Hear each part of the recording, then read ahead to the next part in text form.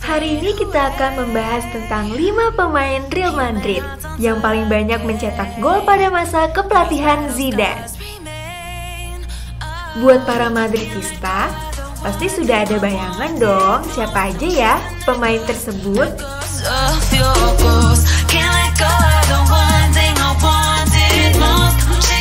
Di posisi pertama yaitu Cristiano Ronaldo.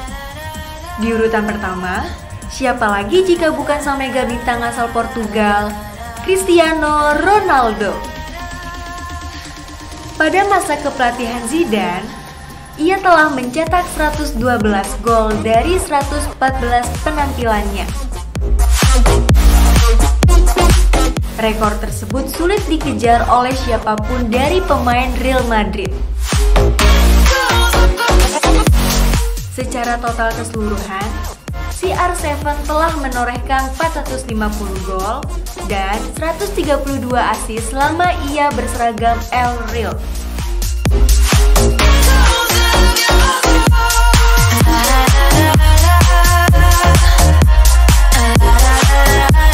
Di posisi kedua, Karim Benzema.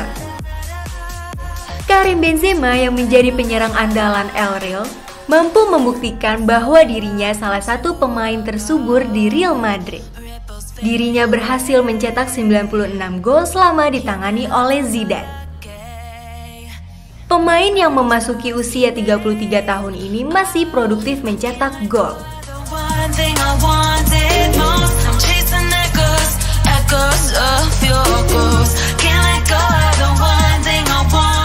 Terbukti dari musim 2020 sampai dengan 2021 saja, ia telah mencetak 13 gol dan 5 assist dari 22 penampilannya.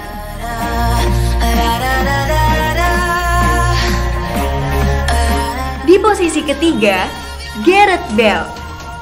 Pemain bintang asal Wales ini bergabung dengan El Real pada tahun 2013.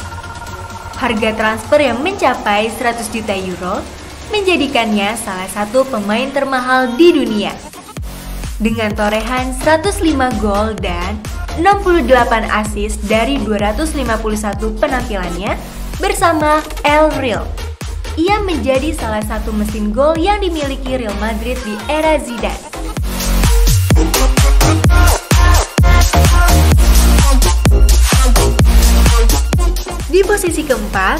Sergio Ramos. Sergio Ramos, salah satu bek tersubur yang dimiliki oleh tim ibu kota Spanyol.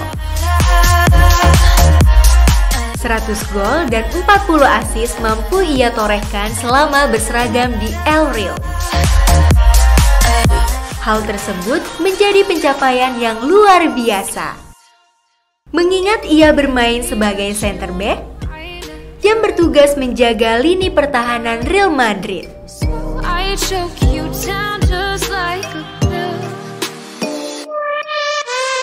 Di posisi kelima, Isco.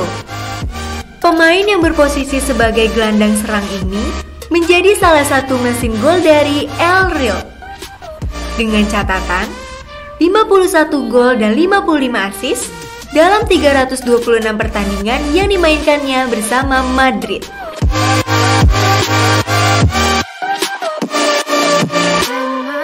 Oke Sobat Ceria Sport, itu tadi 5 pemain Real Madrid yang paling banyak mencetak gol pada masa kepelatihan Zidane. Keren banget ya!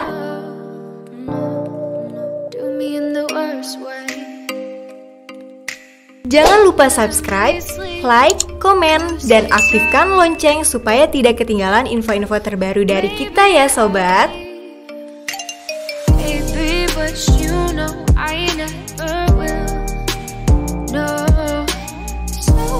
choke you down